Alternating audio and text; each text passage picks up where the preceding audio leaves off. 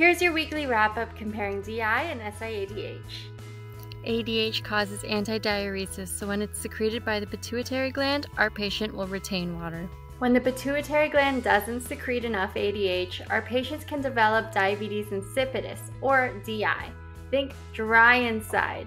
Without ADH, our patient will produce huge amounts of diluted urine, which can lead to a fluid volume deficit, dehydration, hypotension, or potentially hypovolemic shock.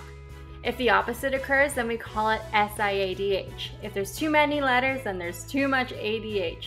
With too much antidiuresis, the kidneys will hold on to that water. This can result in weight gain and dilutional hyponatremia.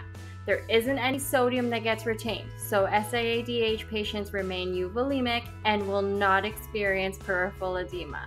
Keep in mind, in DI, our patient is voiding large amounts of diluted urine, which will concentrate our bloodstream. In SIADH, the patient is retaining water so that urine becomes concentrated and the blood becomes diluted. If you need more help with the endocrine system, book a one to one tutor session with us on archerreview.com.